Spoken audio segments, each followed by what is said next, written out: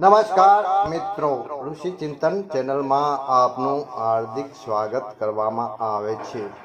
યુગ ઋષિનું ચિંતન વિચારોને વિચારોથી કાપવા, આસ્થાઓનું શુદ્ધિકરણ અને ઊંધાને ઉલટાવીને સીધું કરવું એ જ વિચાર ક્રાંતિનું લક્ષ્ય છે. સદજ્ઞાનનો પ્રકાશ અજ્ઞાન રૂપે અંધકારને દૂર કરવાનું કાર્ય પૂરું કરે. અમારા વિચારો ખૂબ તીક્ષ્ણ અને ધારદાર છે. દુનિયાને બદલવાનો જે દાવો અમે કરીએ છીએ તે સિદ્ધિઓથી નહીં, પરંતુ અમારા સશક્ત વિચારોથી જ કરીએ છીએ. આપ આ વિચારોને ફેલાવવામાં અમને મદદ કરો. પંડિત શ્રી રામ શર્મા આચાર્ય. આદર્શ જીવનનું રહસ્ય. એ વાત સાચી છે કે મનુષ્ય જેવું વિચારે છે, તેવો જ બની જાય છે. વિચાર બીબું છે અને જીવન ભીની માટી છે.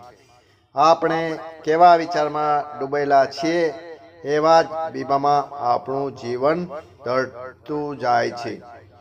એવું જ આચરણ થવા લાગે છે. એવા જ સાથીઓ મળે છે. એ જ દિશામાં જવાની, જાણવાની રુચિ તથા પ્રેરણા મળે છે.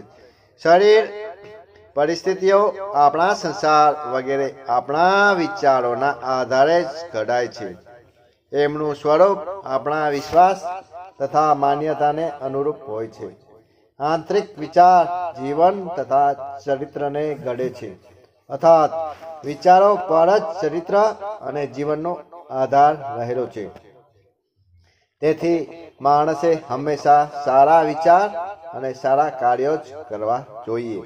ભલાઈ વધારવાનો તથા બુરાઈ ઘટાડવાનો અભ્યાસ કરવો જોઈએ અને વિચારશીલ બનીને દ્રઢતા તથા તત્પરતા પૂર્વક ધીરે ધીરે મનની ખરાબ વૃત્તિઓ તથા વિચારોનો ત્યાગ કરી દેવો જોઈએ. સારી વૃત્તિઓનો નિરંતર અભ્યાસ કરતા રહેવું જોઈએ. આ કામમાં એને લોકોના સંપર્કમાં રહેવાથી શ્રેષ્ઠ પુસ્તકો વાંચવાથી શ્રેષ્ઠ બાબતો જોવાથી શ્રેષ્ઠ કાર્યો કરવાથી બીજાઓને સારી બાબતની કદર કરવાથી અને એમને અપનાવવાથી તથા સદૈવ શ્રેષ્ઠ વાતોમાં જ શ્રદ્ધા રાખવાથી મોટી સફળતા મળશે. આમ કરવાથી તે દિવસે દિવસે વધારે બળવાન શ્રેષ્ઠ અને બુદ્ધિમાન બનતો જશે. અને એનું ઉજ્જવળ ભવિષ્ય શુદ્ધ, શાંતિપ્રદ, આનંદમય અને સુંદર બનતું જશે. અખંડ જ્યોતિ, જૂન ઓગણીસો બાવન પેજ બાર તેર. જય ગુરુદેવ જય ગુરુદેવ, જય